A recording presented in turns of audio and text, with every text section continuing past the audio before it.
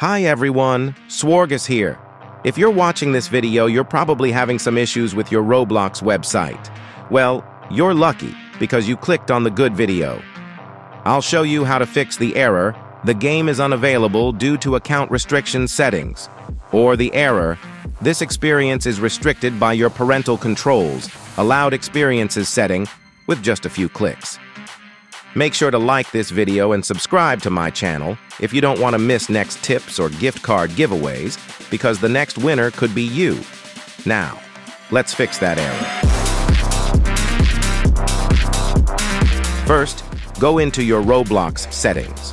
To do so, at the top right corner of your screen in the Roblox website, click the gear icon, then click on Settings.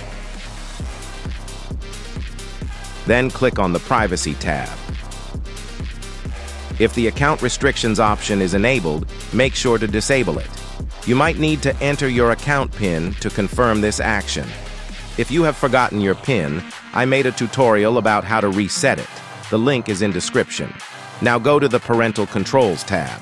Then, under the Allowed Experiences section, select the appropriate age guideline. If you select 17 plus, you will have to verify your age. But selecting 17 plus is not necessary since almost all Roblox games will work if you select 13 plus. Now that you have updated your settings, you should be able to play your favorite games again.